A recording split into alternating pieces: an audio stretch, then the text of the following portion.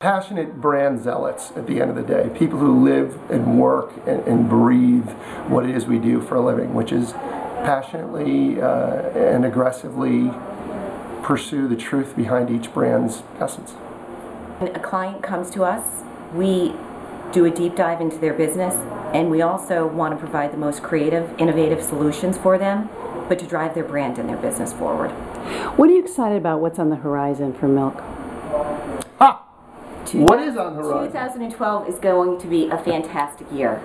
Uh, we're really excited. We're experiencing some growth right now, again, just based on the fact that we're passionate marketing zealots, and we are going to go after new and exciting brands for 2012. In this economy, how has advertising changed? It's a great question. Um, you know, in this economy, I, I, think advertising, the conventional models of advertising have really gone by the wayside. It's really peer-to-peer advertising is so much more important than ever before. It's important that a brand reinforce that with some larger tone messaging, but ultimately it's about what I tell Kelly that makes a difference in her life, or what she tells me, or what I tell you, Ann, that makes a difference in your life. That's how advertising has changed today. And we're talking about the art of conversation. How does that figure into your business?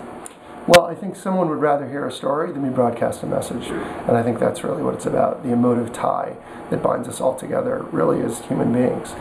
And I would also add on to that that the art of conversation is about a two way dialogue, and that's the great, greatest difference in terms of how advertising has evolved over the past five years. Okay. Proudest moment for the firm so far? When I joined? Yes! the proudest moment of the firm so far. I, I don't know that we've had, I think, believe it or not, it's really small team. I think every day, every person here would say they're really proud of what they did on that day. And to me, it's about a long shot, a long-term vision, but it's about a day-to-day -day vision, and that means being happy and proud every day when you go to work.